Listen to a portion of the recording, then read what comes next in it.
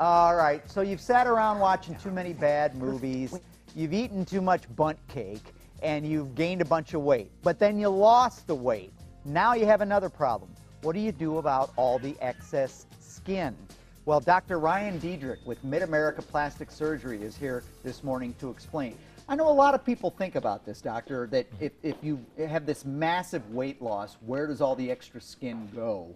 And unfortunately, that's a problem for most people, isn't it? It is a problem. You know, after these patients will come in, they've lost 100, 200, 300 pounds or more. They are doing so much better. They're so happy. They have so much more energy. They have a better outlook on life but they still don't fit in their clothes like right. they'd like to. They still have that extra skin that is bothersome. Sure. So that's where we come in um, to treatment. Now, isn't there? It, doesn't this? Different people have different elasticities to their skin, and everybody's going to have a different reaction for that uh, degree of reaction to that kind of weight loss, right? Yes. Some people will lose the, um, or their skin will tighten up afterwards. Younger patients or those who have, uh, like you said, more elasticity. Mm -hmm but some it just never comes back mm -hmm. after they've been so much larger. We're seeing some of the before and afters. How do people lose this much weight this this quickly or many different ways. They can do traditional diet and exercise. Medical weight loss programs work great.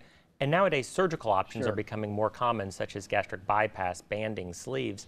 Um, and that's where we're seeing just these dramatic weight changes that are occurring. So your skin has some ability to adapt to its new uh, innards, mm-hmm. uh, but can only do so much. Right. And you, then you're going to need some help. Correct. Yeah. You'll see, you know, losing 10 pounds, your skin comes back. But when you're losing a, basically body weight, 100 pounds, 300 pounds, mm-hmm. you know, it can't come back on its just a, so much volume loss it besides the weight. There's the, just the whole volume of the body. So how does this surgery work?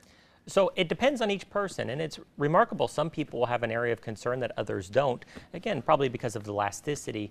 Um, it's really head to toe. Anything from uh, face, where sometimes we actually have to add volume back. You'll lose some of the volume in your oh. face at the time, and then do procedures like neck lift and facelift with uh, well-placed hidden scars to um, tighten the skin. Arms are a common concern.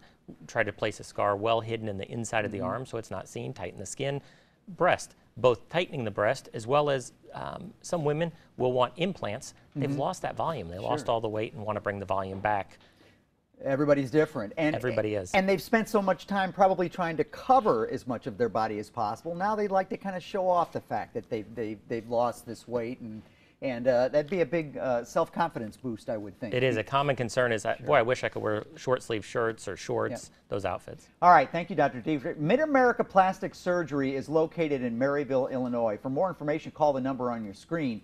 618-288-7855 or toll free at 855-288-7855. Now you can also find them on the web at midamericaplasticsurgery.com and you have some seminars coming up, right? We do. September 24th we have a seminar at um, our Maryville location.